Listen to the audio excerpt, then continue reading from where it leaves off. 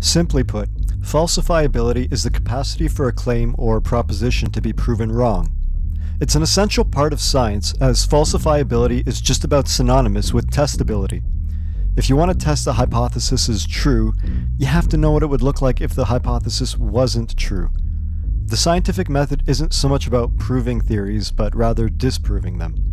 Say, for example, someone claims they have an invisible and intangible dragon in their garage.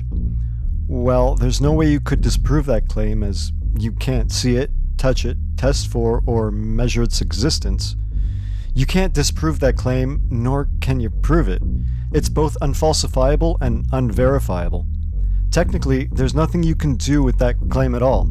It's useless. If something can't be falsified, it can't be tested or considered to be scientific.